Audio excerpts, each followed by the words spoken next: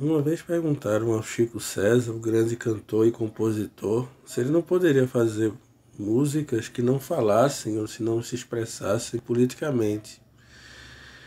Isso me lembra uma, e me dá uma sensação forte de amarras e correntes, como se as pessoas quisessem acreditar num artista, principalmente um artista negro, e para isso que ele não falasse das contingências, das vicissitudes, dos problemas que é ser negro, que tem que ser negro nesse mundo e especialmente no Brasil. Não só o Chico César, não só o Djonga, com essa polêmica que ele lançou no questão do fogo dos racistas, dos racistas. Essa questão é muito antiga. Nós, pessoas negras, já morremos de formas piores do que um, uma suposta frase numa, dentro de uma música possa expressar.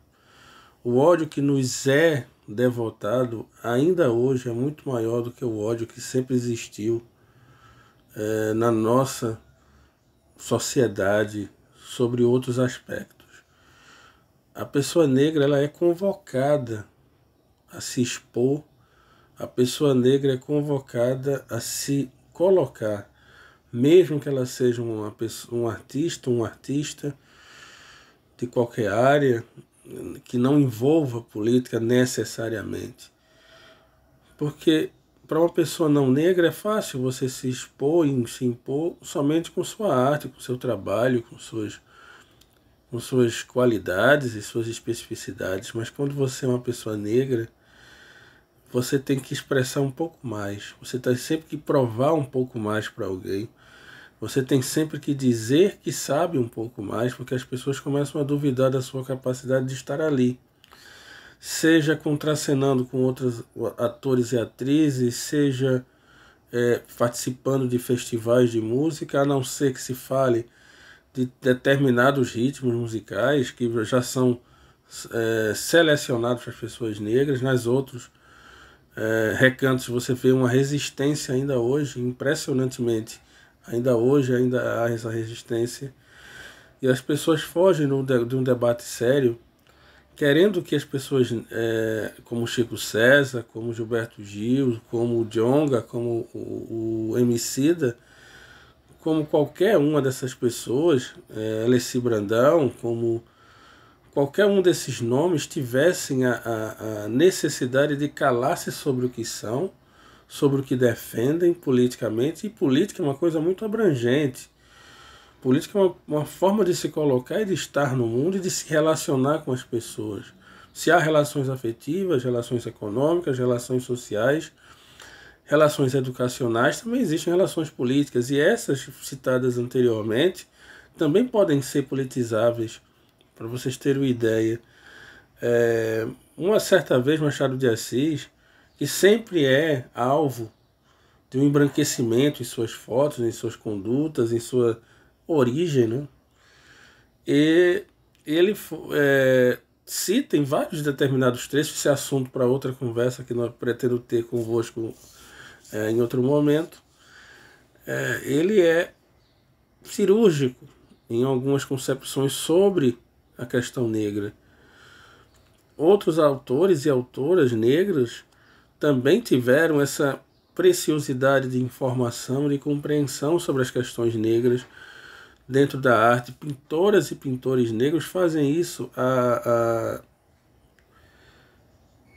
a, a, a Harmonia Rosales, se não me engano, a, a pintora cubana, ela traz uma crítica artística feita a partir da arte, quer você goste ou não, ela faz uma releitura de clássicos principalmente da era classicista da arte, com a pegada negra, substituindo Vênus por Oxum, substituindo um Cristo branco por um Cristo negro, substituindo um, uma outra visão é, clássica branca por uma visão negra. Essa arte tem uma missão e tem um engajamento, tem uma forma de chamar atenção embora as pessoas não percebam, embora as pessoas queiram somente criticar e dizer da mediocridade disso ou daquilo, se arvorarem a esses, nesses aspectos, é preciso entender que quando você chega para um artista, sendo a harmonia, a harmonia, seja o Chico César, seja quem for, e dizer que ele tem que ter uma pegada mais light, uma pegada mais soft, uma coisa mais suave, uma coisa menos politizada, é como se você estivesse dizendo: não seja você. Não seja você, porque a realidade de pessoas que saem das periferias, a realidade, a realidade das pessoas que saem do, de terreiros, é, que são perseguidos, que são é, alvo de incêndios e outras coisas, a realidade que é inserida dentro de quilombos, de regiões quilombolas, sejam elas urbanas ou rurais, de comunidades indígenas, a realidade que vem de, de, de, de morros, de, de, de, favelas, de comunidades e, e territórios que são marginalizados, como já falei, que ocupam morros, que em desastres naturais perdem vida e tudo que tem. Essa realidade ela é parte integrante da, do próprio RG, do CPF daquela pessoa. É impossível que ela não se refira na sua produção intelectual, na sua produção pessoal, aquilo que, que sempre foi seu dia a dia, que sempre foi o seu amanhecer, o seu viver o dia e o seu anoitecer. A realidade ela não é uma, uma prateleira ou não é um conjunto de prateleiras nas quais nós pegamos máscaras e risos e, e emoções é, engavetadas e vivemos de acordo com aquilo que queremos. Isso pode ser uma distopia em algum mundo que não tenha problemas sociais, problemas sociais, ou seja, aqueles em que nós vemos que as pessoas negras são aquelas que são menos favorecidas socialmente, mais desempregadas. Ah, existem números e números a respeito disso.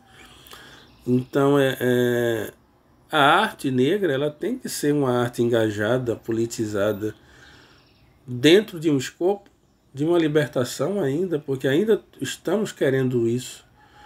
Para o Brasil, ainda falamos em abolição. Para o Brasil, ainda falamos em liberdade ou em libertação, numa ação de libertar. Então, como é que eu posso querer que um autor, um compositor, um autor ou uma compositora negra não se refiram e não reflitam a respeito disso. Não exponham, não exponham polêmicas como a, a, a frase fogo do, nos racistas do Jonga fala. Como nós não podemos é, assumir diretamente, de fato, discussões, colocações, questões que sejam verdadeiramente citadas e colocadas, nós vamos ocupando aquilo, os espaços que nos são dados e que nós cavamos de um ou de outro modo. Então a arte é um deles. Nos dão um microfone para poder cantar as nossas músicas, para poder nos dão pincéis para poder pintar as nossas telas, nos dão canetas e, e, e outros materiais para escrevermos os nossos livros. Então, quando não nos dão, eles nos são é, nós vamos atrás deles e conseguimos, e que fazemos e criamos, e é assim que vivemos. Então, essa é a mensagem de hoje. Espero que ela chegue ao máximo de pretas, pretos e pretos possíveis, a minhas amigas, amigos e amigos. A nossa arte vai ser sempre politizada enquanto nós formos aquelas pessoas que realmente somos pessoas negras.